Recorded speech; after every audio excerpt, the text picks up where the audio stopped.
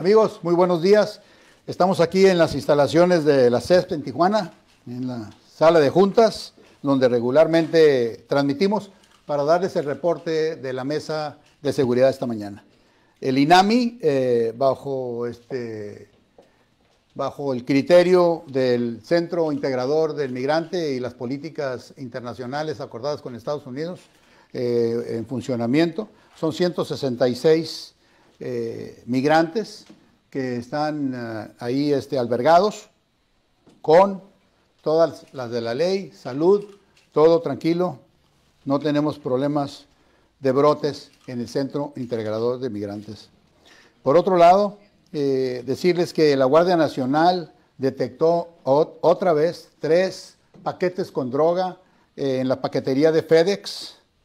Es raro el día que no encontramos este, tráfico de drogas en esta empresa.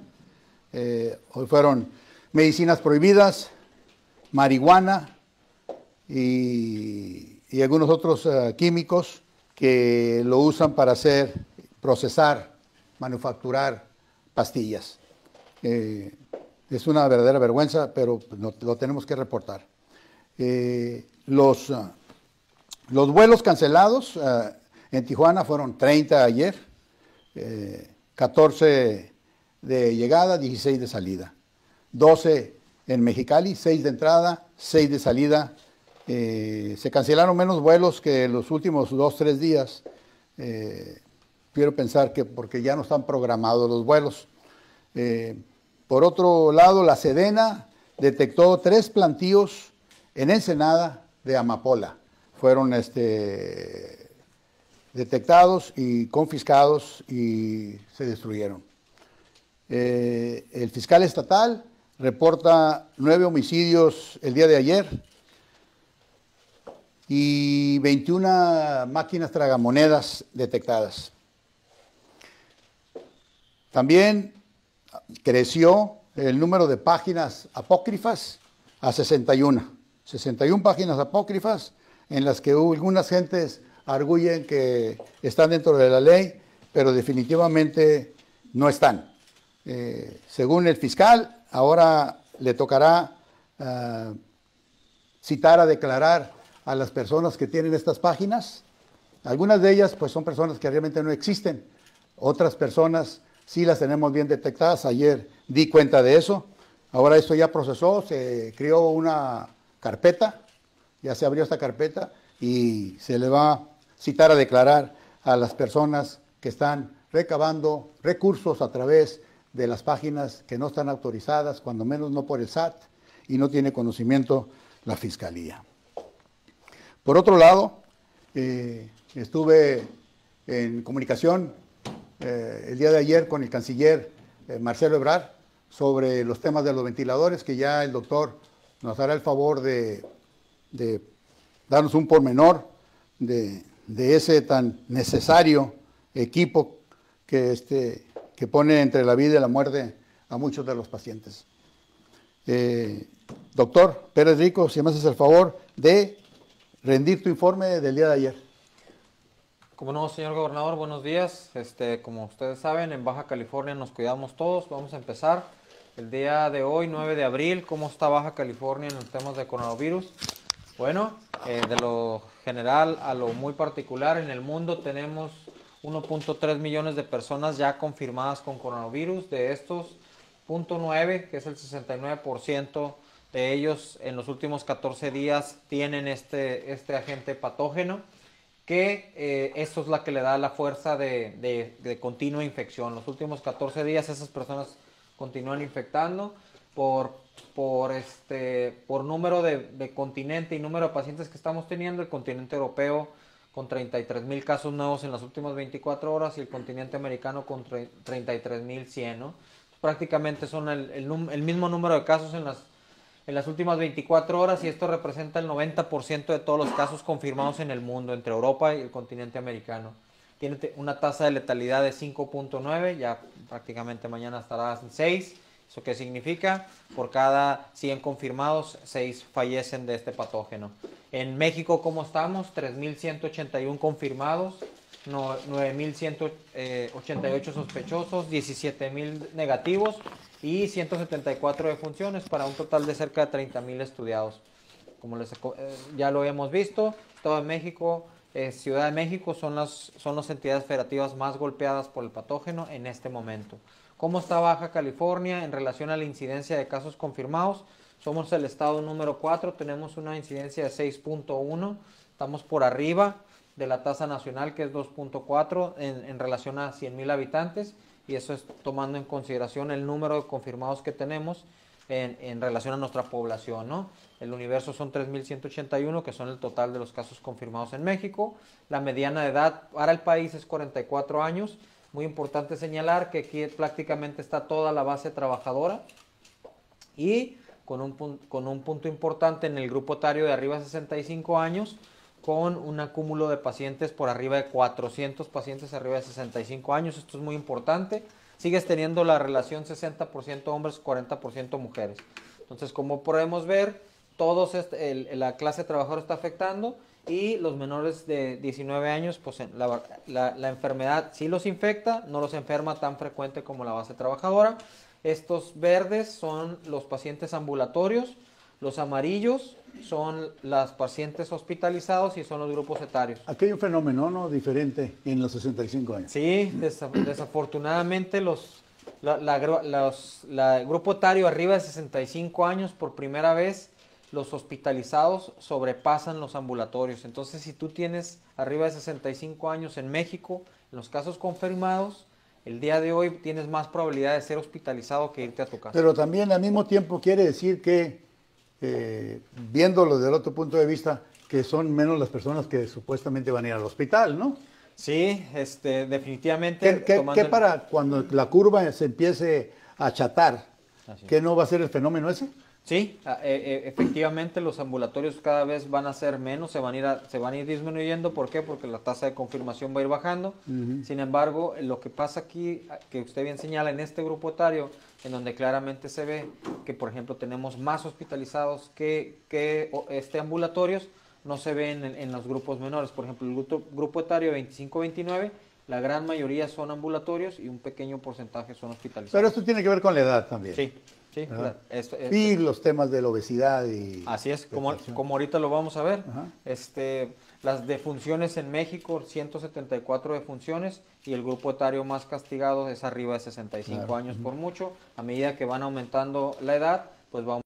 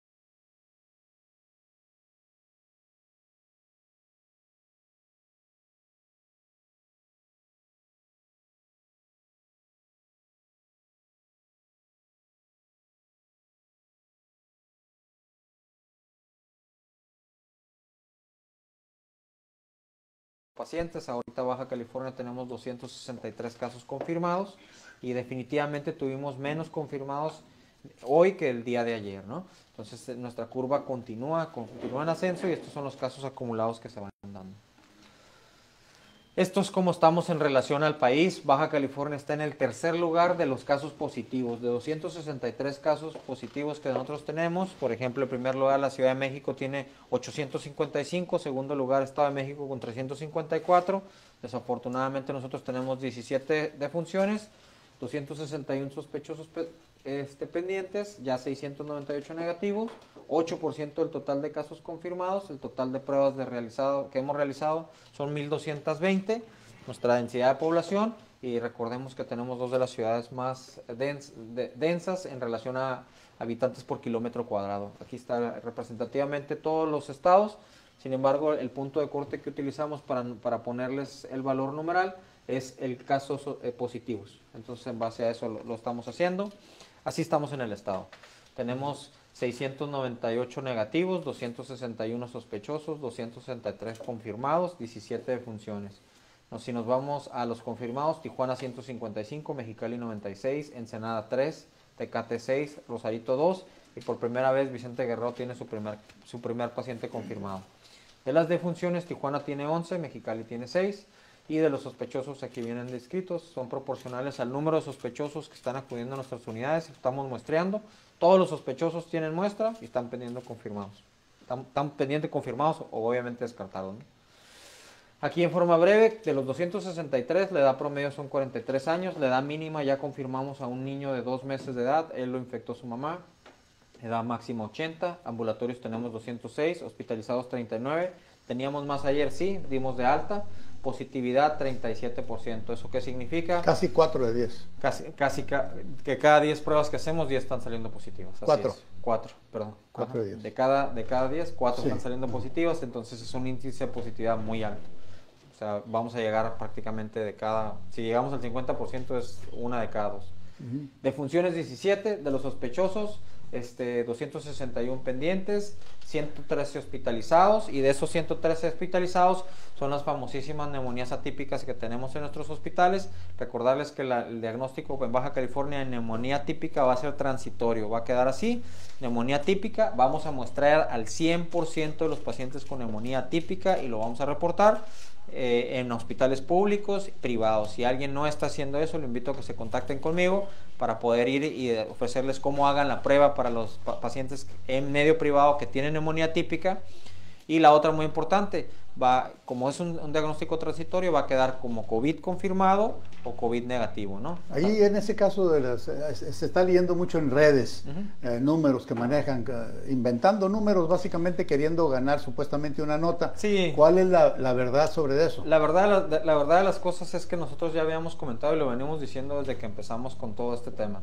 Vamos a decir las, los casos confirmados que son, vamos a decir todos nuestros sospechosos, las neumonías atípicas que tenemos en nuestros hospitales, sí, sí hay, eh, lo ha existido durante todo el año.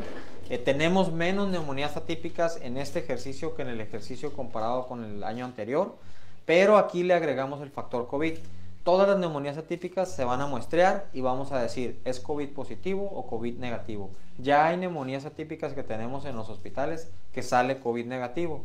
Entonces tienen, va a quedar como neumonía típica, pero no porque no le hagamos la prueba, sino porque el, reactivo sale negativo. Entonces, ah, ¿existe esa posibilidad? Por supuesto que sí. Muchos, muchas, de hecho, todas las neumonías atípicas se les va a hacer el reactivo COVID positivo. Y otra vez, si no lo ven en estas páginas, es falso. no importa qué periódico diga que, esos son los números que tienen, porque eh, buscan la, eh, alarma, ¿no? Eh, asustar a la gente. lo peor que nos puede pasar es empezar a creerles a los estos periodistas que se dicen conocer de medicina y la realidad es que no conocen la diferencia entre una nacín y un mejoral. Entonces, pero escriben y tienen una página y están alarmando a la gente diciéndole mentiras. No, las, las este, tomas de pantallas y este escenario es información eh, incompleta. Aquí les presentamos lo que está pasando en el estado y lo vamos a continuar haciendo por indicación del, ingeniero Bonilla y al más puro estilo de este gobierno. No, además no hay necesidad de... Somos, somos transparentes en este sentido y lo seguiremos. No ha habido ni un gobierno hasta ahorita como este que ha transmitido todas las, eh, reuniones eh, públicas y esto todos los días. exactamente. Bueno, vamos a, vamos a. Estas son las comorbilidades de nuestros pacientes positivos, de los 263 que tenemos en Baja California al día de hoy. La primera comorbilidad es obesidad, la segunda es hipertensión, tabaquismo y diabetes. Entonces, tabaquismo, eh, diabetes y obesidad como primera causa de comorbilidad. Estas son desafortunadamente las muertes que tenemos. Tenemos ya cuatro muertes en, mujeres, 13 en hombres. Este, aquí están los rangos de edad. Eh, tenemos una muerte de 25 a 29, una de 45 a 49. En los grupos etarios de 55 a 59 y arriba de 65 son 5 muertes cada uno para el total de 17 muertes con una, con una frecuencia y este, un porcentaje de hombres 76% de las muertes. Estas son las comorbilidades que tenían esas muertes, hipertensión, obesidad y diabetes. Otra vez las, las tres, las tres eh, patologías que nos llevan a desafortunadamente adquirir la enfermedad y desafortunadamente perder nuestra vida por esto. En la Secretaría de Salud 97 confirmados, en el IMSS 147 en el ISTE 4, Cali 15, todavía fuerzas eh, militares sin ninguno, y los sospechosos predominantemente Secretaría de Salud 53 y IMSS 194. Estos son los sospechosos pendientes, un total de 1.222 estudios. Recordarlo que estamos en la, continuamos en la Jornada Nacional de Sana Distancia, 30 de marzo al 30 de abril. Muy importante, la única y la mejor arma de defensa que tenemos contra, contra este virus es la sana distancia. Aléjense, por favor por el amor de Dios no se toquen la cara, por el amor de Dios no vayan a reuniones. ¿Por qué? Porque lo que está pasando ahorita es que si se, continuar con esto vamos a entrar en una, una fase de la aceleración rápida, vamos a pasar a fase epidémica tempranamente y lo que no queremos es precisamente eso. Queremos que la población entienda que este virus, este patógeno es, es real, es, es, es algo que nos está afectando ya que si continuamos yendo a nuestros campos laborales cuando no es esencial, nada más arriesgamos nuestra vida y la de nuestra familia. Piensen en ustedes, piensen en su familia. Si usted sale ahorita de su casa, se tiene todo el riesgo de infectarse si no va a ser una actividad esencial. Y aunque haga una actividad esencial, tiene todo el riesgo de infectarse. Entonces, guarde el distanciamiento social, dos metros, cuatro metros en espacios públicos, lávese muy bien las manos y por el amor de Dios no se toquen la cara porque ahí es cuando se infectan. Eh, recordar lo que comentaba ahorita el gobernador, no hagan casos a rumores o, información falsa. Aquí les vamos a comentar exactamente qué es lo que está pasando en el estado. Hay muchos pacientes hospitalizados, sí, vamos a tener más pacientes hospitalizados, sí, estamos ante una pandemia, esa es la verdad, y lo vamos a decir, las cosas como son. Las neumonías atípicas son un diagnóstico transitorio, los vamos a mostrar a todos y les vamos a decir el resultado de eso, positivos o negativos. Para nosotros, esa es información que ocupamos para hacer acciones como vencer al, patógeno. Entonces estas son las páginas, la Baja California.gov, Jaime Bonilla, Baja California Gobierno, aquí está, se las, se las pongo ahí para que las puedan copiar. Llamar es muy importante, ante cualquier duda, eh, pregunta, quieren, asistencia, llamen al 911, ahí tenemos a médicos y psicólogos en los C4 específicamente que bien habilitó el gobernador para poder atenderlos de, de todos los medios que podamos y que ustedes se sientan protegidos y lo más importante, atendidos por su gobierno. Muy importante, estos 24/7, estamos este, en pie de lucha, Baja California nos cuidamos todos. Eh, otra vez, nuevamente, agradecemos muchísimo a todo el sector salud que ahorita estamos peleando esta batalla y ocupamos de usted, de usted, de usted, de usted, de todos, para que no salgan de su casa. Quédense en su casa, quédense en su casa, quédense en su casa. Esta es la oportunidad de contribuir en su estado y cómo puedo contribuir quedándome en mi casa. Muchas gracias, doctor. Excelente reporte. Eh, pues nada más decirles, eh, estamos muy comprometidos con ustedes para seguir dándoles el reporte todos los días. Como ustedes saben, eh, aparte del reporte de seguridad y el de salud, hacemos un reportaje de los temas de la Secretaría de Trabajo que ahora está muy, muy este, ocupada con, con los cierres de algunas empresas que no ha querido entender que no pueden estar trabajando. Él les va a dar los detalles, pero eh, básicamente no pueden los patrones obligarlos. Eh, hoy en la mañana recibimos una, una denuncia de trabajadores que el patrón encadena la, la puerta para que no puedan salir a protestarse. Eso es increíble que todavía en estos tiempos se esté permitiendo y le estoy encomendando, por favor, al secretario de Trabajo que, que ya tienes el nombre de la empresa y me gustaría, si lo tienes, que lo digas públicamente, porque luego dice la gente no hace el nombre. Eh, esa empresa que ya te reportaron hoy en la mañana en la mesa de seguridad. Adelante, este, Sergio Montezuma, secretario de Trabajo. Sí, gracias, gobernador. Eh, muy buenos días. Buenos días a todos los habitantes de Baja California. Y ya hicimos lo que corresponde en relación a lo que el gobernador acaba de citar de esta empresa. y ahorita les tengo las novedades. Definitivamente el exhorto y un atento llamado a los empleadores con actividades no esenciales. Tenemos mucho personal de la Secretaría del Trabajo, de la Comisión eh, Federal para la Protección contra Riesgos Sanitarios, eh, desplegada en todo el estado. Les vamos a visitar y tarde o temprano tendrán que eh, suspender las actividades, pero la diferencia es que si es por mutuo propio, simplemente cuando ya eh, concluya esta declaratoria de emergencia sanitaria por causa de fuerza mayor y así lo decrete el Consejo de Salubridad General, podrán generar y reactivar sus, eh, sus actividades, reanudar labores. Sin embargo, lo cierto es que si ustedes son empleadores con actividades no esenciales y no cesan actividades y nosotros llegamos y les generamos la suspensión de las actividades a través de, la, eh, de los sellos que colocará la COFEPRIS, va a estar muy complejo que vuelvan a reanudar actividades de manera inmediata. Seguirán un procedimiento eh, administrativo con mucha complejidad. Así bien, eh, les expreso, este es el modelo de sellos que se está colocando a través de la COFEPRIS Sí estamos realizando, el día de ayer, gobernador, fue una actividad muy intensa, concluimos pasadita a las 11 de la noche, pero definitivamente pues es una labor que se nos instruyó y que además eh, al final se privilegia la salud. Pero qué bonito, qué bonito que a las 11 de la noche tú estés trabajando. Antes a las 11 de la noche es porque venías de bailar, ahora te estás entregando a tu estado. Sí, pero también le reitero lo siguiente, esto es el producto de un trabajo en equipo, gobernador, eh, a través de la coordinación con, con, COFEPRIS, con la Secretaría de Salud y por supuesto con los gobiernos municipales. este es el aviso de suspensión que nosotros estamos colocando para a usted eh, facilitarle solo 24 horas para que concluya actividades.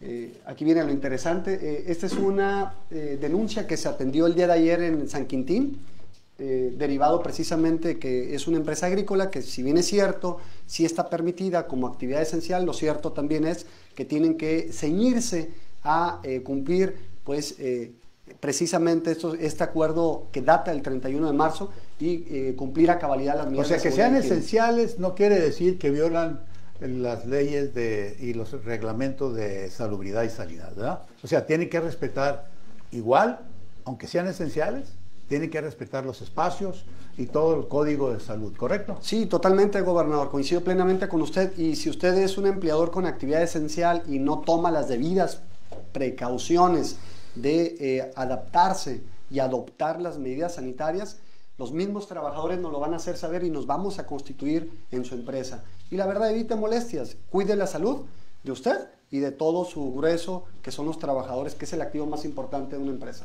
Y bueno, así vamos. El día de ayer se adiciona una, una más, una inspección, son 36. Sin embargo, ayer particularmente esta fue la actividad que desarrollamos.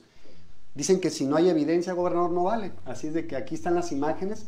Eh, en Mexicali particularmente nos constituimos en las empresas que usted aprecia, eh, amigo eh, baja californiano. Del lado izquierdo está la razón social, el domicilio, el giro y los datos adicionales. aquí son eh, avisos de suspensión que colocó la Secretaría del Trabajo y fue una leída de cartilla y el día de hoy vamos a estar monitoreando en cuanto concluya el término que se les facilitó, debieran ustedes de, haber cesado actividades. De lo contrario, en caso que usted desacate este mandato de la autoridad de Baja California, pues haremos lo que corresponda. Le estás hablando a los empresarios, ¿verdad? A los empleadores, definitivamente. Ya saben ellos, a me dirijo a ellos. Y, gobernador, pues yo no quisiera expresar lo siguiente, pero les está ganando a algunos empleadores de actividades no esenciales la voracidad. Les está impulsando la voracidad. ¿Por qué dices eso? Ah, bueno, lo digo porque pues, no están preservando la salud de sus trabajadores y ya tienen que estar concluyendo sus actividades. Pero sé más específico, ¿como quién?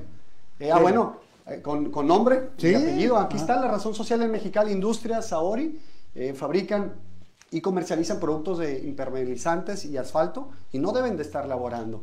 Del lado izquierdo tenemos Eaton Cooper Lighting, Business Mexicali. Cuenta con 600 trabajadores. Es correcto. Que deberían estar en su casa y devengando un salario. Es correcto, el salario íntegro. Así es, íntegro, no el 20% o el 40%. Y está también igual. Es correcto, ensamble de lámparas incandescentes, con una plantilla de personal de 800 eh, trabajadores que si sumamos todo el universo de trabajadores, computando todas las empresas visitadas el día de ayer realmente deben de estar en sus domicilios en resguardo domiciliario. En Mexicali está LG Electronics Mexicali. Esta es la empresa que usted citaba hace un momento, que colocaban las cadenas y, y realmente pues no es una actividad esencial. Se dedican al ensamble de televisiones. Y se clausuró. Sí, definitivamente aquí la, la COFEPRIS hizo lo que correspondía y colocó los sellos de suspensión de actividades. Ya no pueden No, es que un abuso, y que fueran sus esclavos. O sea, les encadenaron para que no salieran.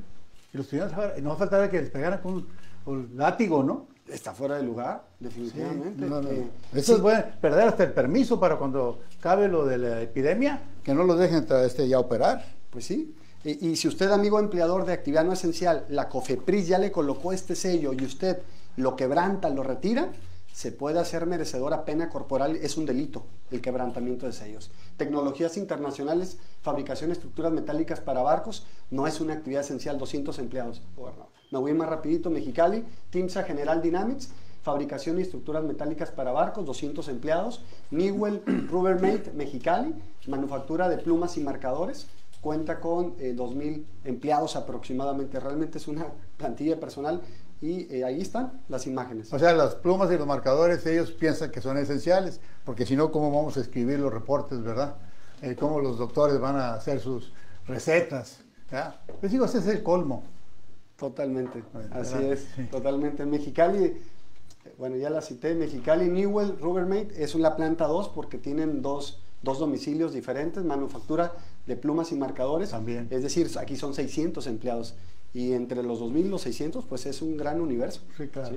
Eh, aquí la, la COFEPRIS ya hizo lo que correspondía, les colocó los sellos de suspensión, ya no pueden continuar. Aquí está. En la parte eh, Tijuana, aquí nosotros colocamos los sellos de suspensión de actividades no esenciales, soluciones integrales de manufactura, fabricación de cajas fuertes, pues no es una actividad esencial. 150 empleados, Agent Electronics, placas de interiores de computadoras, 80 empleados. Es decir, estamos eh, acudiendo con los empleadores de pocos trabajadores y que merecen la misma importancia, tanto de una empresa que es de actividad no esencial, que eh, alberga a 5.000 empleados, por citar un supuesto hipotético. Eh, Ajust Steel México, distribuidores de hojas de metal, pues no es una actividad esencial en Tijuana. Eh, San John de México, prendas de vestir y joyería, no es una actividad esencial. Aquí les dimos 24 horas y el día de hoy vamos a visitarles. Y si están operando, el gobernador ya nos instruyó que hiciéramos lo que corresponde para efecto de llegar con COFEPRIS, con la autoridad municipal y clausurarles. Así es. Sí. Tijuana, gobernador, ¿quiere que vaya diciendo la razón social? Hubo una empresa en la mañana en la mesa de seguridad que señalaron que los obligaba a, a que fueran a checar tarjeta eh, y que luego los, los mandaba a su casa. Eso no es correcto, porque los está obligando a que salgan de su casa. O sea, para justificar, pagarles, si no tienen por qué tener el trabajador, presentar ninguna justificación. Si es, una- si es un trabajador que ya estaba ahí, debe de estar en la nómina. Está en la nómina, no tiene que ir a checar porque tienen instrucción de pagarle a todo mundo. Entonces no sirve ningún propósito que les digamos que no vayan a trabajar cuando lo están obligando a que vayan a checar y luego se regresan a su casa. Eso es muy delicado. Por eso Sí. tienes que cuidar muy bien eso. ¿eh? Claro que sí, así será. Me pasa el dato y hacemos lo que corresponde.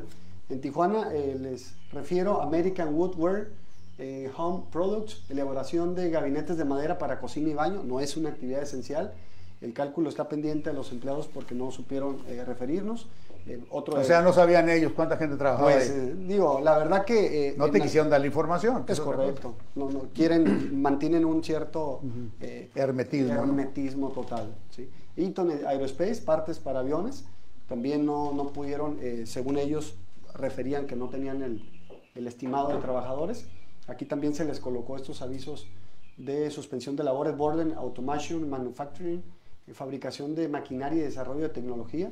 Eh, ANA Global LLC, metales y placas para carros, no es una actividad esencial. Eh, tuvimos un día muy, muy intenso. Tijuana International, Internacional de Baja California, tractocamiones, es el giro preponderante. Cuentan con 100 empleados. Tau Mexicana, manufactura de bases para televisión, no es una actividad esencial.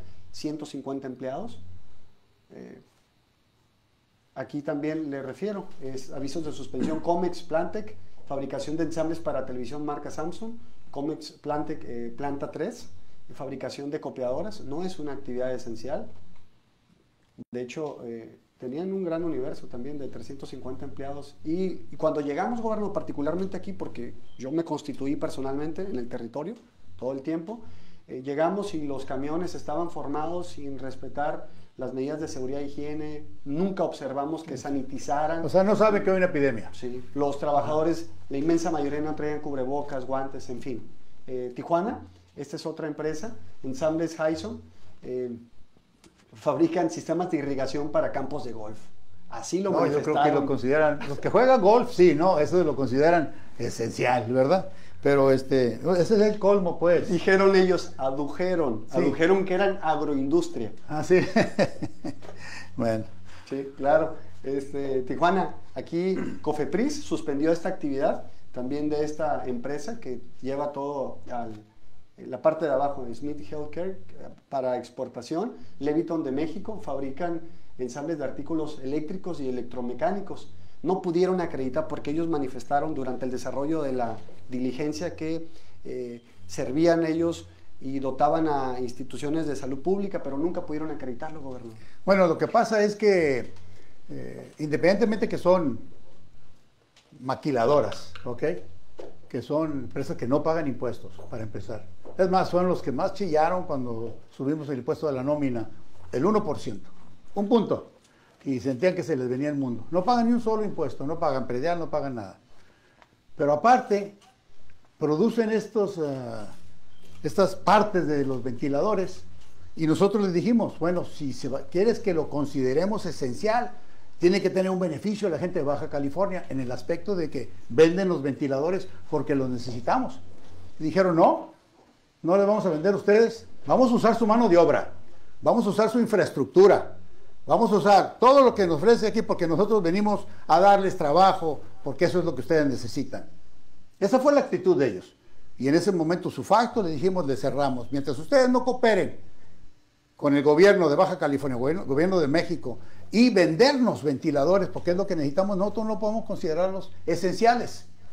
Pegaron el grito, hablaron con el canciller, eh, hablaron con el embajador de Estados Unidos, y como nos consideran una colonia Estados Unidos pensaron que con eso iba a ser más que suficiente. A mí en lo personal me habló el canciller por teléfono, me dijo que se ve manera de que, de que los dejáramos trabajar. Le dije, la única manera es que nos vendan, no queremos que nos den, nos vendan parte de lo que los mexicanos están ensamblando.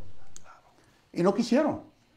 O sea, y lo dijeron, es que nos están extorsionando, extorsionando, sino lo que queremos es que son ventiladores y no los queremos prestados. Ni queremos, queremos comprarlos. Y dijeron no. Entonces, eso se lo dejo yo a la opinión pública. Porque dice un dicho, no, puede ser puerco, pero no también trompudo.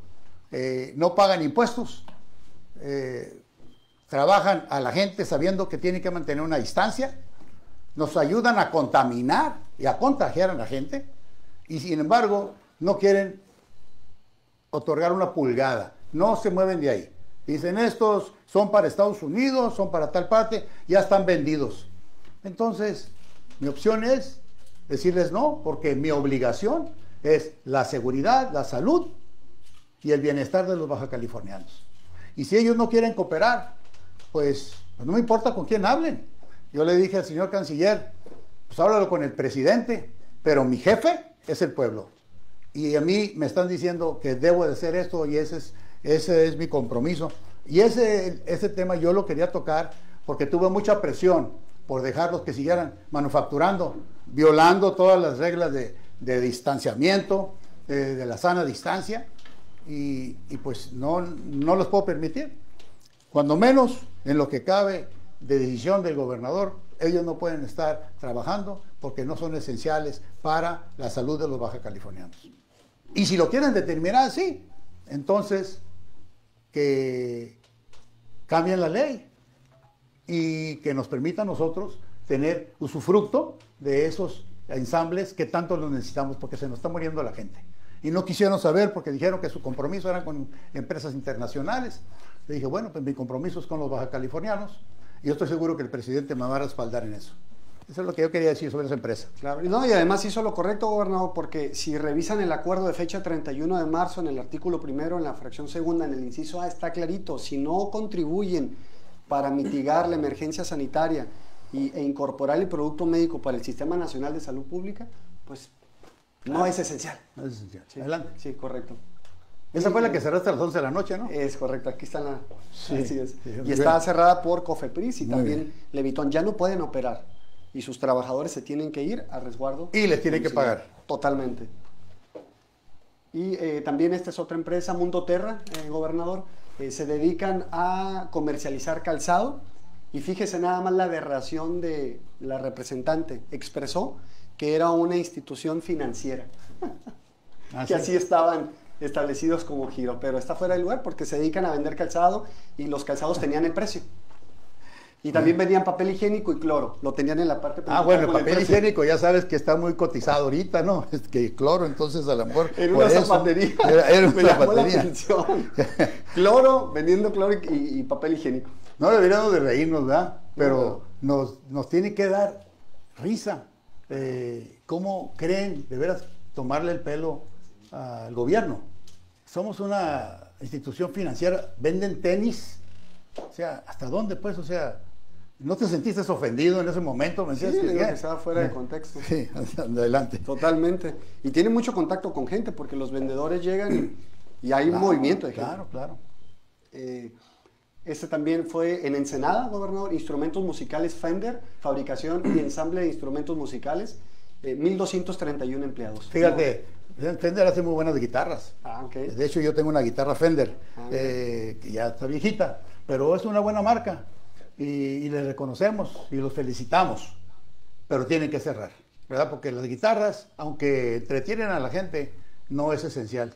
Claro. Cuando menos no las eléctricas, porque son eléctricas. Sí, Adelante. claro. Y bueno, como es una sociedad anónima, pues eh, en español, ¿no? Ish- Ish- Laye, así se pronuncia de México.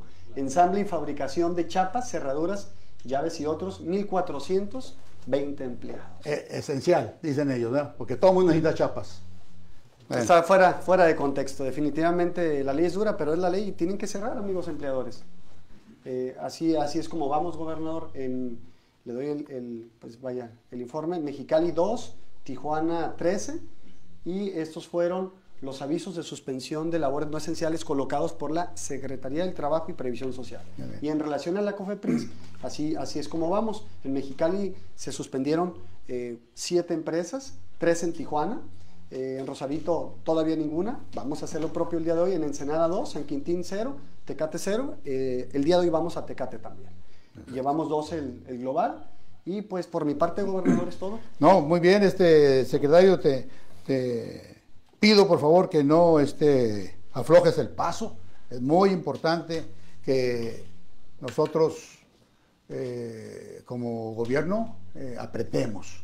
Es muy importante que la gente sepa que su gobierno es responsable y que va, va a velar por todos sus, sus trabajadores. Tienen que cerrar las empresas que no son esenciales y le tienen que pagar a los empleados su salario íntegro.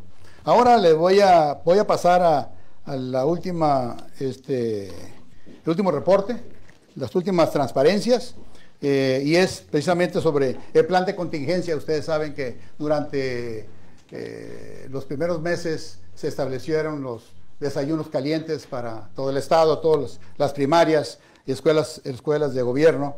eh, pero pues ahora con la suspensión de clases, pues los niños se la pasan en su casa, come y come, ¿no? Entonces hicimos el plan de contingencia de eh, despensas.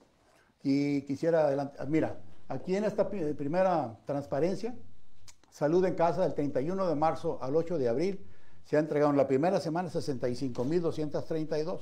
Ya en la segunda semana que llevamos dos días, ya llevamos 22.445 para un total entre la primera semana y parte de la segunda de 87.677. Vamos a la siguiente. Aquí, total de despensas entregadas el 8 de abril, o sea, el día de ayer, obviamente son 12.204, pero de esta manera fueron distribuidas. 4.677 en Tijuana, 415 en Tecate, 1.570 en Mexicali, 684 en Rosarito, 1.534 en Ensenada, 1768 en San Quintín, San Quintín tiene muchas necesidades, San Felipe 380. Ahí, en ese rubro, fueron 11.028. Y en la prevención en marcha, 952 en Tijuana, 17 en Mexicali, 31 en Rosarito, Ensenada 114, 62 San Quintín, por un total de 1.176, y llamadas recibidas y se atendieron personas que no podían, que tenían problemas de, problemas de movilidad. Eh, en Tijuana, o sea, 300, 45 Tecate, 157 Mexicali, 63 Rosarito, Ensenada 106, San Quintín 70 y 30 San Felipe para 771 para un gran total de 12.204. ¿El sigue? El total de despensas entregadas para prevención de marcha el 31 de marzo al 8 es, o sea, el apoyo a domicilio fue un total de en Tijuana de 2.175, en Tecate 108, 387 en Mexicali, 140 en Rosarito, 663 en Ensenada, 335 en San Quintín y 24 en San Felipe y un total de 3.832. Y aquí, en total de llamadas recibidas desde el 31 de marzo hasta el 8 de abril, o sea, ya hoy, ayer, en la noche, hoy es día 9, en Tijuana, 1.600 34, en Tecate 232, en Mexicali 842, Rosarito 900, perdón, 331, en Ensenada 934, San Quintín 906, 906 y 66 en San Felipe para un total de llamadas de 4.945, casi 5.000. Eh, adelante. Y estas fueron, como estuvieron distribuidas, eh, las, las más comunes no sé por qué insisten en ponerle el top, ¿no? Eh, el número uno fue personas sin trabajo es por causas del COVID, o sea, personas que las retiraron y que no les están cumpliendo este para darle su salario como está determinado este, por el decreto presidencial. Y particularmente es el sector maquilador, la industria, restaurantera, los taxis. El segundo en llamadas fueron la pues, información general, cómo operaba lo de las despensas. Tercero, adultos mayores pidiendo auxilio, este, apoyo. El cuarto, madres solteras y cinco personas con discapacidad. Tenemos los teléfonos. Los números de contacto, eh, como ustedes vieron, eh, son miles de llamadas que estamos recibiendo. Son muchas las necesidades de nuestro pueblo. Tijuana, Ensenada, Mexicali, Rosarito, Tecate, San Quintín y San Felipe, 663-205-0367, 663-204-7663, 663-204-7660, eso es Tijuana. En Ensenada, 646-273-7641, 646-273-7625 y 646-273-7635. Rosarito, 661-172-2606, 661-172-2207. En Tecate son dos teléfonos, dos números, 665-799-8762, 665-133-6057. San Quintín, también en el área 616-128-0008, 616 126 96 97.